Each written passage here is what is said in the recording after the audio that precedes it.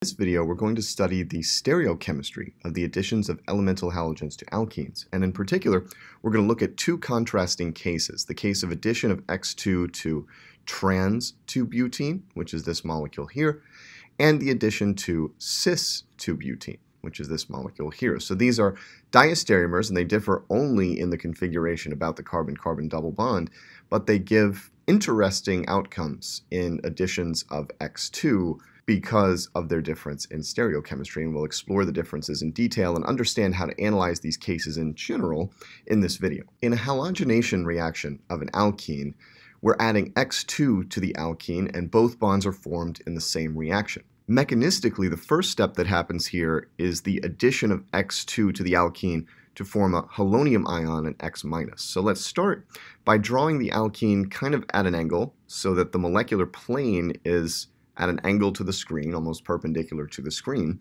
and we can imagine X2 approaching this alkene in two directions, either from above, like so, or below, like so. These two directions of approach lead to enantiomeric halonium ions, and we can see this if we draw the curved arrows and follow the stereochemical course of the reaction, and in particular the configurations of these new stereocenters that develop on the alkene carbons. Based on the way we drew these directions of approach, this direction of top approach, which I'll label A, leads to this enantiomeric halonium ion.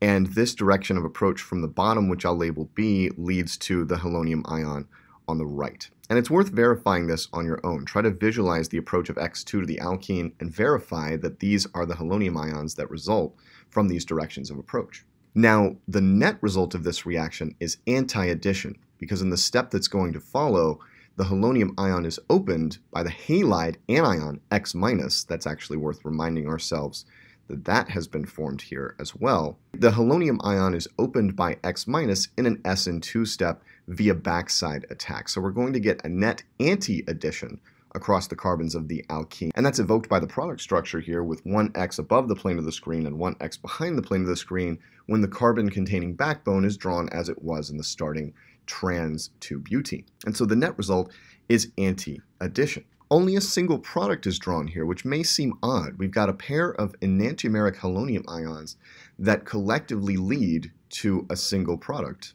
And this is not a mistake. This reaction only forms a single product. We can use the idea of stereotopic relationships to understand why this happens, and in particular focus our attention on the stereotopic relationship between the carbons that would be attacked by X minus to form the product in each of these halonium ions. Notice that this molecule has a rotational axis of symmetry that is in the plane of the screen and that runs through the X atom and bisects the carbon-carbon bond in the halonium ion. That's a 180 degree axis of symmetry that leaves the, the appearance of the molecule completely unchanged and exchanges the two carbons in green. This means that those carbons are homotopic. In other words, they're chemically identical. And put most bluntly, addition of X minus to either of those carbons is going to lead to the same product. In fact, the molecule that you see right here. And this is again worth verifying on your own that addition of X minus to this carbon leads to this product, and addition of X minus to this carbon leads to this product as well. And of course, the same is true of the enantiomeric halonium ion B on the right. The two carbons highlighted in black now are also homotopic. They share a homotopic relationship with one another so that they are chemically identical, and the addition of X minus to either of these carbons is going to lead to the same product, namely the molecule that you see up here. So I want to emphasize it is worth pausing the video right now and verifying that all of these additions to X of X minus to all four carbons lead to this same product right here.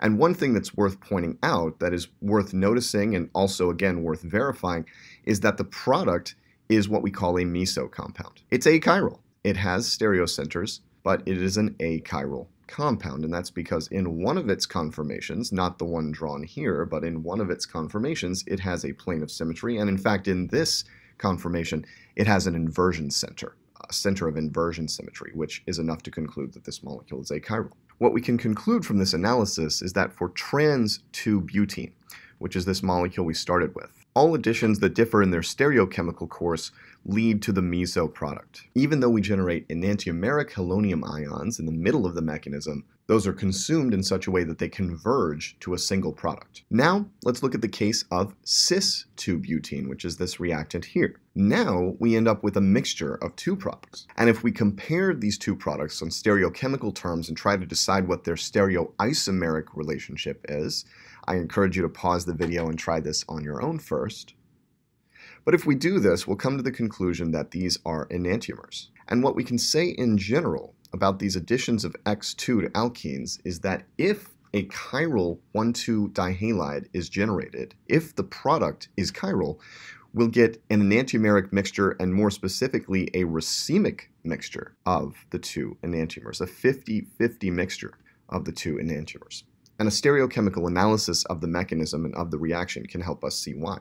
So now the situation is different in an interesting way. If we again draw the alkene such that its plane, the molecular plane, is sort of perpendicular to the screen, we again have apparently two directions of approach of X2 to this molecule, either from above or from below. The difference now is that both of these directions of approach lead to the same halonium ion. And this is worth verifying again on your own by visualizing the process. Addition above and addition below both lead to this single halonium ion. And again, we can use stereotopic relationships to understand why this is. What we want to compare now is this region of space above the alkene to the region of space below the alkene. And when we do that, we come to the conclusion that these two regions of space are homotopic. The reason is the molecule has a rotational axis of symmetry that runs perpendicular to the screen in the plane that we've drawn here, and it bisects the alkene carbon carbon double bond. And that moves one green area into the other green area and vice versa, while leaving the rest of the molecule completely unchanged in appearance. From that, we can conclude that these two green areas are homotopic. Therefore, addition to the top or bottom face, addition along these either of these green areas is going to lead to the same halonium ion. However, we go from this single halonium ion to a mixture of enantiomeric products. How is this? Well, now let's look at the stereotopic relationship between the halonium carbons in this single halonium ion. So now we're comparing these two carbons to each other and essentially, you know, most simply asking the question, does addition of X minus to either of these carbons lead to the same product? Addition of X to form the halonium ion has destroyed this rotational symmetry that was present in the original alkene. Now we have just a reflection plane of symmetry running right through the middle of the molecule right here. That reflection plane exchanges these two carbons highlighted in red without changing the appearance of the molecule as a whole. And so we lack rotational symmetry, but we have reflection symmetry that exchanges those carbons. The two carbons are enantiotopic. And as we've seen, this means that addition of an atom to one or the other of the carbons is going to lead to a pair of enantiomers, and we can visualize the additions to determine which product corresponds with which sense of addition or which carbon was added to. So without going into the detailed analysis, this is something that I encourage you to do on your own. Let's consider the two enantiotopic carbons A, the right-hand carbon A, and the left-hand carbon B. Addition of, or substitution of X minus at carbon A leads to this enantiomer with an inversion of configuration at this carbon on the right where addition occurred and retention of configuration at the carbon on the left while addition to carbon B, or substitution at carbon B, I should say, X minus substituting at carbon B, leads to product B. And again, we have an inversion of configuration at carbon B, because that's where addition occurred, and retention of configuration at carbon A in this product. So again, consideration of the stereotopic relationships between either the faces of the alkene involved or the carbons of the halonium ion involved allows us to systematically determine whether we should expect a single molecule out of the reaction or a pair of enantiomers.